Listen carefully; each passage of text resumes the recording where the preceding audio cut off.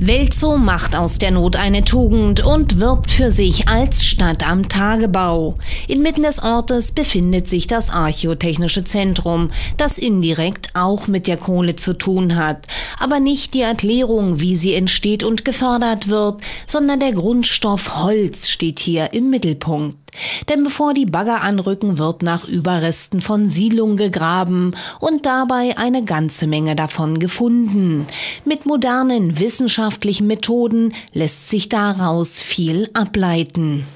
Hölzer sind ganz wichtig für die Wissenschaft, weil in diesen Hölzern steckt nicht nur eine Altersangabe, die den archäologischen Befund dann auch datiert, sondern in den Hölzern stecken auch sehr viel mehr Informationen. Also zum Beispiel über die Jahrringchronologie, Klimageschichte. Wie sieht eigentlich ein Wald vor 5000 Jahren aus?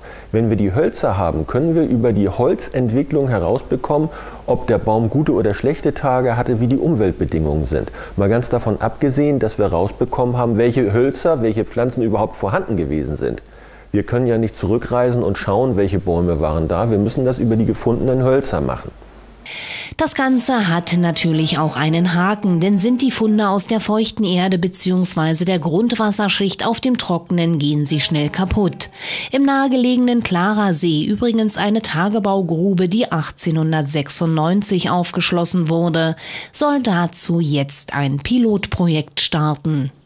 Die Hölzer werden alle geordnet in einem Unterwassermagazin untergebracht. Das heißt, so wie man Keramik in ein großes äh, Regal stellt, in Kisten verpackt, werden die Hölzer in Stahlkäfien unter Wasser eingelagert, sind registriert, wo sie sind, sind gekennzeichnet und werden dort aufbewahrt. Also im Prinzip einfach so gestapelt wie in einem Unterwassermagazin. Und wenn der Wissenschaftler sie in fünf oder zehn Jahren braucht, dann werden sie einfach wieder rausgeholt und kommen dann auf den Tisch des Wissenschaftlers, um sie zu untersuchen.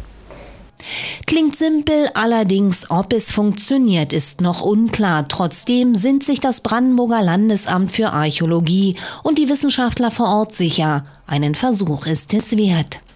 Ein Knackpunkt ist sicherlich, dass der Klarer See bloß zwei Meter tief ist. Das heißt, es ist ein bisschen Licht im Spiel. Was jetzt die archäologischen Hölzer, die vielleicht 1000 oder 3000 Jahre alt sind, dort unten machen, ob die Fische dran knappern, ob die Algen dran wohnen, ob äh, Muschelschalen sich entwickeln dort und daran fressen, wissen wir noch nicht. Fakt ist, die Angler sagen prima, Hölzer in der Mitte heißt, dort wird die Kinderstube der Fische sein, weil sie dort in den Käfigen sicher sein werden vom gefressen werden.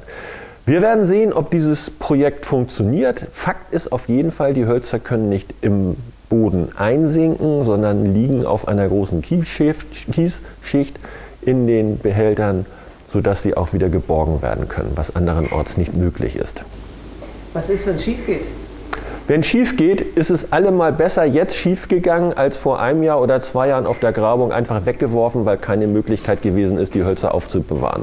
Jedes Stück Holz, was hierher kommt und eingelagert wird und dann in fünf Jahren vielleicht noch da ist, ist ein besseres Stück Holz als das, was einfach weggeworfen werden muss auf Grabung, weil es einfach nicht verarbeitet, bearbeitet werden kann.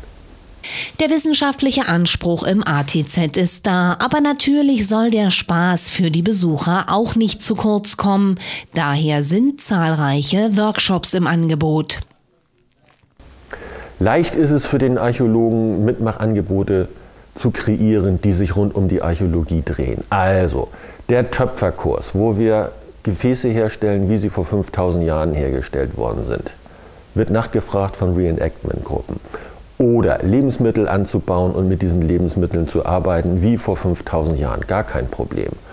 Oder mit Weide zu arbeiten. Weide ist ein universell nutzbarer Werkstoff, der vor tausenden von Jahren schon im Einsatz war, zum Dachdecken, zum Körbe herstellen. Solche Projekte sind einfach für den Archäologen. Das führen wir durch. Das kann nicht. Das können Mitarbeiter oder Bekannte vom Archäotechnischen Zentrum, die sich bereit erklären.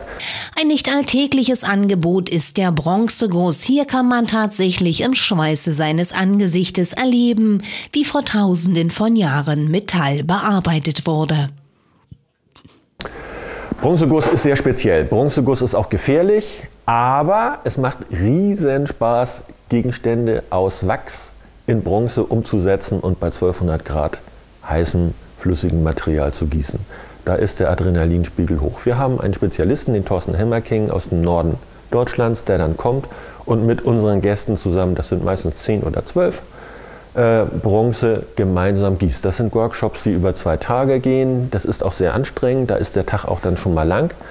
Aber wenn dann am Samstag angefangen, Wachsobjekte herstellen und über Nacht einbetten und ausbrennen, dann am nächsten Tag gegossen ist, dann ist immer die Freude groß, wenn es gelingt und man einen Gegenstand mit nach Hause nimmt, den man so nicht kaufen kann, den man selbst gemacht hat und den man auch wie nach alter Väter Sitte hergestellt hat. Das ist eine spannende Geschichte und wir sind froh, dass wir auch dieses Jahr, im April kommt der nächste Kursus, auch zweimal diesen Kurs anbieten können. Den wir übrigens auch mit Gymnasiasten und auch mit Schülern 5., 6. Klasse schon durchgeführt haben. Mit dem geplanten Verkauf des Energiekonzerns Vattenfall ist auch die Zukunft des Archäotechnischen Zentrums in Welt so unklar. Das Unternehmen finanziert nicht unwesentlich die Arbeit des Hauses. Kann man nur hoffen, dass hier noch weitere spannende Geburtstage gefeiert werden können.